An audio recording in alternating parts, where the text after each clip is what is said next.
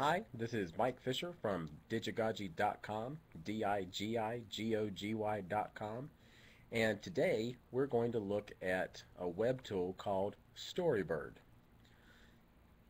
at Storybird.com. Storybird is a collaborative storytelling website that allows students to pick artwork and then write their own stories that they can read online they can share them with each other. They can even purchase a copy of the book that they write. Before I show you how to create a Storybird, I want to show you what one looks like. And I'm pulling from some that have already been created in my account. This one by a student named Caleb, who was a seven-year-old that we brought into a workshop with teachers to show teachers how this service works and how it really does work with young students. Caleb's story is called Caleb's Story About Night. And when it opens, it's going to show us a bigger version of the book. And this is really nice to project up on a screen or use on a smartboard.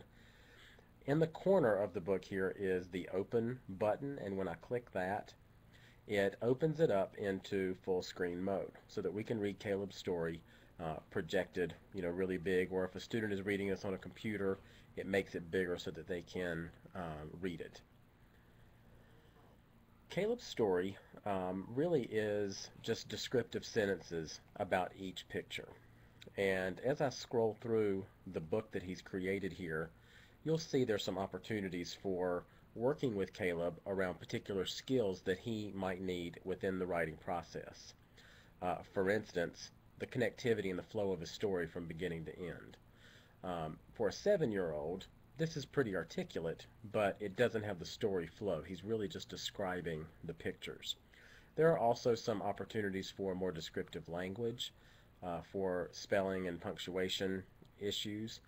Uh, but all in all, this gives us um, some information about Caleb as a writer that you know we can use the same way that we would you know do this traditionally in the classroom where the kids would write stuff down.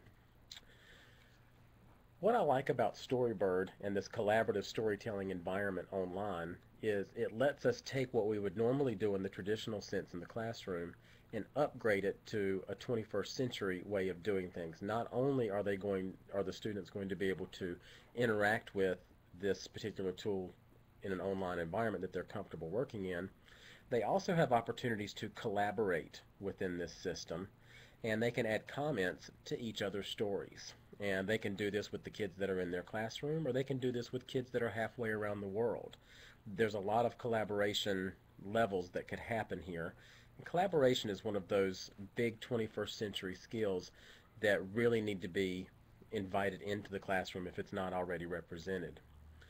Now, you've seen what the Storybird looks like.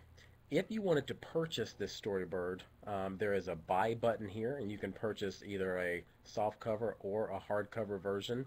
There are also school programs through this service uh, where you can get um, different amenities around you know what you're doing with your students and uh, possibly discounted pricing um, and school-based licensing. Um, when you come to this website for the first time, it would be helpful if you went ahead and set up an account, but if you didn't, you'll be asked to do that whenever you're done with your Storybird. In order to create one, you just click on the Create button. You'll see a bank of artwork, and this is the artwork that you'll choose to create your Storybird.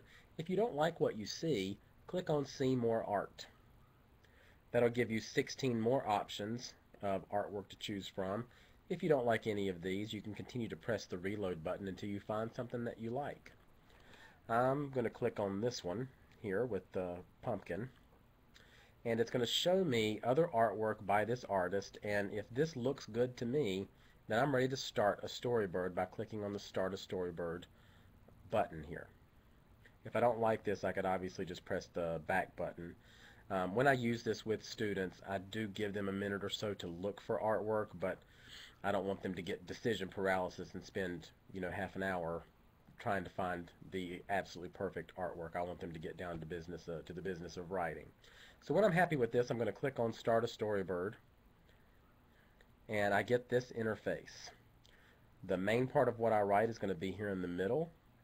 My dashboard of pages that I'm writing is going to be down here across the bottom, and then the artwork that is in this bank of artwork is populated on the sides here, and I can move these around.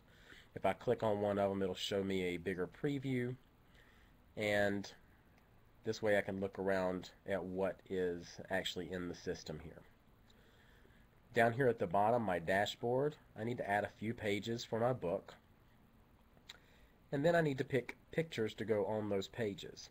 This is one of the reasons that I like this website a lot because you get the visual first. And one of the big issues with the writing process for kids is those ideas uh, for writing. And if they have the, the visual first, the representation, then you know perhaps the writing will come a little bit easier once the visual is in place. So I'm going to pull in a couple of pictures and I'm just dragging and dropping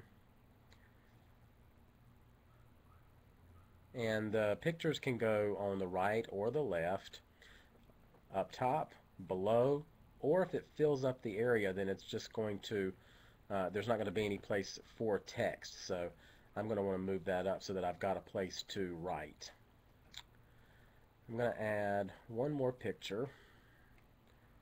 Let's see what's in here. An octopus.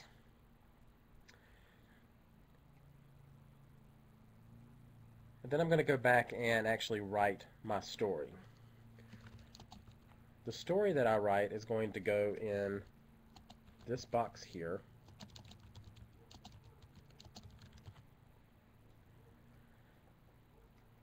And on each page,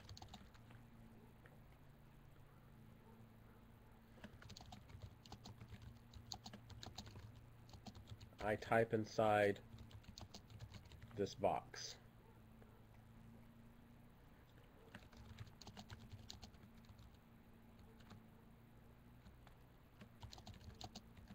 I can save what I write to come back to later by pressing the Save button.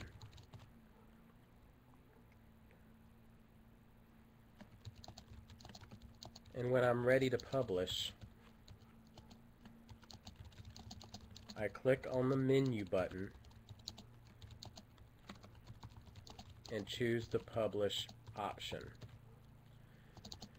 And just so that you know, whenever you do get ready to publish this, if it's going to be in the public gallery, you can't have any names or schools associated with it. Uh, this is a very safe site to use uh, with teachers and students, and they want to make sure that um, kids and school names are not being associated together. Likewise, someone actually looks at these books before they're put into the public gallery, and if there's anything that's offensive, um, it will not be published to the public gallery, or if it is published initially, it will be removed from the public gallery um, upon further inspection, just so you know. Um, this is a very safe site to use with students. When I'm done, I want to make sure that I go back to the cover page and make sure that I have a name here. And I'm just going to type in my name and then I'm going to give this a title. And when I'm done, I'm going to click on Publish this Storybird. It will save it and then it will put it into my area of Storybird it'll ask me for some options uh, such as a summary, some tags to make it easily easy to find, separated with commas, whether or not I want this storybird to be private or public, and the age range for the reader. Um, if you've got older kids creating these for use with younger kids, they would choose, you know, the average age of their audience. If the kids are creating it for themselves, then they would choose their age range here. And then I click Publish. This is going to take me back to my area of Storybird so that I can see all of the things that I've published within their system. Um, it shows me the Storybird that I just created, and if I click on You up top, meaning me, then I get to see all of the storybirds that I have created, including the most recent one here.